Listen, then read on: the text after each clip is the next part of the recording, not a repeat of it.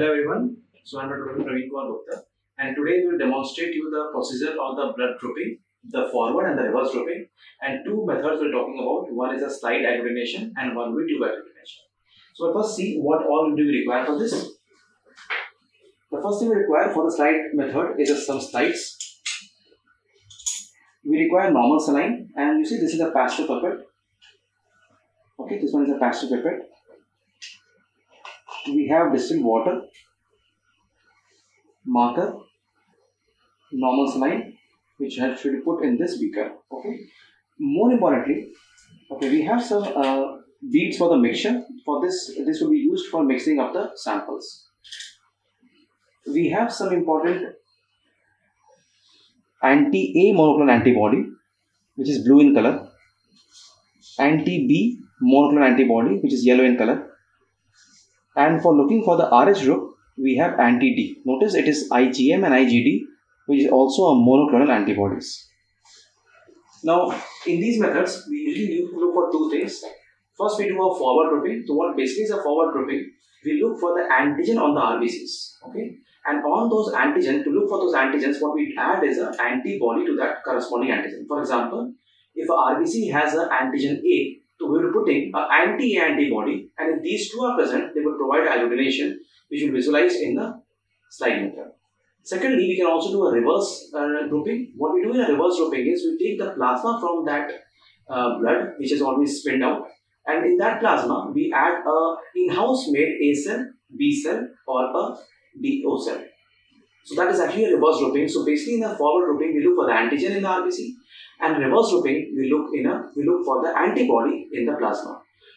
One thing you should know that in a slide method we can only look for the forward uh, forward grouping while in a tube agglutination we can look for both forward and reverse grouping and therefore tube method is the method to look for the uh, any blood drops. Notice that a slide method can be done only for an emergency procedure. However, tube method is always done for a routine procedure to confirm that particular blood group. Let's start the procedure now. The first thing we do here is, first of all, we'll label the slide. Labeling is the most important part of any test that we do.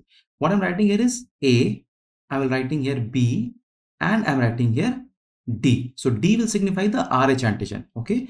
I'm looking for the forward grouping, that is what we do in a slide agglutination test. Now, please understand, we have to take a sample and the sample should be an EDTA sample, okay? EDTA sample. Now, what I'm doing is, I'll first take the sample and take out the blood from it. Blood means we'll have to make a RBC that you can either make an RBC suspension or you can directly put the blood. What I will be doing here is I'm directly putting the blood here. So this is a pasteur pipette. I'm putting it in the blood and I'm putting one drop of blood into the A. Look, I'm putting it into the A. Then I'll put one drop into the B and I also put one drop into the D. Okay, D is the RH. Please remember D is the RH group of testing. Now, what I'll do in the next part is, remember we are looking for the forward grouping. So we are looking from the antigen from the RBC side and now we're taking out the antibody. These are commercially prepared antibodies which are usually of IgM type so that it can be reacting at the room temperature. Look, this is the anti-A. The blue one is anti. They all are color coded, right? Now see, this is the anti-A. I'm putting it over the A marked.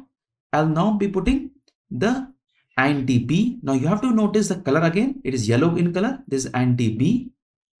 Now what is mixture is? it's an antibody with a slight amount of IgM, IgM antibody and a small amount of complement here so that it can show the agglutination. Okay. Now why IgM guys? So that it can be it can react on the room temperature as well. Now this is anti-D. It's a transparent fluid. Okay. Now we'll try to mix this up with the help of a small plastic tube. Okay, I'm mixing it up. I'm mixing anti-A. Now throw this, we'll throw this away so that it doesn't get contaminated in the B1. I'll take a new one and again mix with the anti-B now. Okay, anti-B. Then I'll again take a new one and mix the anti-D. Okay, D with the anti-D. Okay, now see, because we're looking for the forward grouping, we if there comes an agglutination, we are sure it is that group of antigen, right?